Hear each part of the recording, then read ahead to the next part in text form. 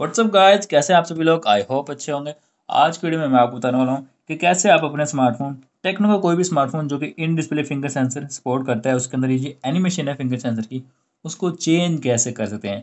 अगर आप एक ही एनिमेशन को यूज़ कर करके बार बार थक चुके हैं बोर हो चुके हैं तो आप इसको ज़रूर ट्राई करी, कीजिए एक बार। फ़र्स्ट ऑफ़ ऑल तो यहाँ पर आप, जैसे मैं आपको एनिमेशन चेक करवा दूँ दोबारा से ऑफ़ डिस्प्ले के ऊपर चेक करवाता हूँ तो ये हमारे पास सेट है, जो कि मैंने चेंज की हुई है बाई डिफ़ॉल्ट जो है वो यहाँ पर सेट नहीं है। इसके लिए आपको सेटिंग में आ जाना है। सेटिंग में आने के बाद या तो आप सर्च बार से भी दोस्तों सर्च कर सकते हैं डायरेक्ट और अगर आप वैसे यहाँ पर जाना चाहते हैं तो आपको करना क्या है? आपको आना है पासवर्ड एंड सिक्योरिटी में। इसके बाद आपको फिंगरप्रिंट में नहीं जाना लेकिन इसके लिए फिंगरप्रिंट होना आ, सेट होना लाजमी है। और ये उनके लिए है जो जिनका स्मार्टफ़ोन में इन डिस्प्ले फिंगर सेंसर मौजूद है। आपको यहाँ पर करना क्या है?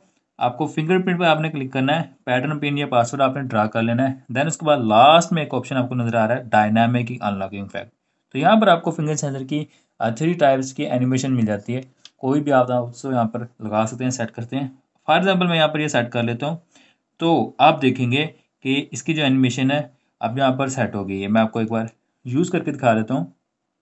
तो आप ये जो एनिमेशन है चेंज हो चुकी है। और पर्सनली अगर मैं दोस्तों अपनी बात करूँ तो मुझे ये जो पसंद है, ये वाली एनिमेशन बाकी ये वाली भी काफ़ी अच्छी है, लेकिन मुझे पर्सनली ये अच्छी लगती है। इसको मैंने सेट कर दिया है, इसको मैं यूज़ करके आपको दिखाता हूँ। तो अब ऐसे हमारे पास वर्क कर रहा है स्मार्टफ़ोन भी दोस्तों फास्ट वर्क कर रहा है एनिमेशन भी चेंज होगी आई होप आपको वीडियो अच्छी लगी होगी। वीडियो को लाइक कीजिएगा। अगर आप हमारे चैनल फ़र्स्ट टाइम है चैनल को सब्सक्राइब कीजिए ताकि इन फ्यूचर जो वीडियो अपलोड करूँ, उसका नोटिफिकेशन आपको मिल जाए। Thanks for watching